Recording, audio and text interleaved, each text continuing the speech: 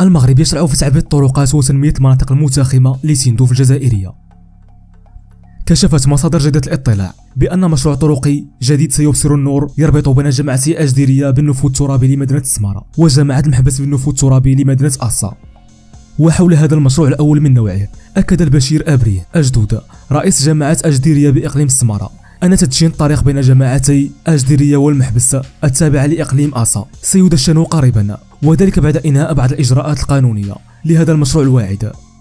كما أوضح ذات المتحدثة أن هذا الطريق من شأنه أن يساهم في تعزيز التنمية والربط المجالي بما يخدم الساكنة المحلية والأهالي بالجماعتين الترابيتين الواقعتين على خط تماس بالحدود الجزائرية حيث يساهم في إشعاع منطقة أجديرية وإنعاش العجلة الاقتصادية وتدعيم الفرص الاقتصادية والاستثمارية بهذه المنطقة الحدودية للمملكة المغربية.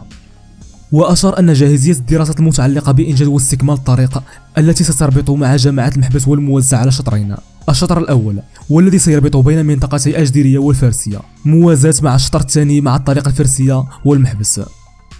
وأضاف البشير أبريه أجدود أن هذه الطريقة الاستراتيجية بين جماعتين المحبس وأجديرية ستمكن الجماعتين الترابيتين على خلق المزيد من سبل التعاون والتضامن وتعزيز الشبكة الطرقية. لدى جماعة أجديرية وفك العزلة في مد جسور التواصل والتقارب بين ساكنتي الجماعتين وسابقا لرئيس مجلس جماعة أجديرية البشير ولد أجدود أن قام برفع ملتمس إلى وزير التجهيز والماء نزار بركة شهر نوفمبر الماضي. وذلك قصد إنجاز الطريق الرابطة مع جماعة المحبس باعتبار ما ستشكله من شرين اقتصادي مهم وتموقعها الجغرافي بأقاليم الصحراء.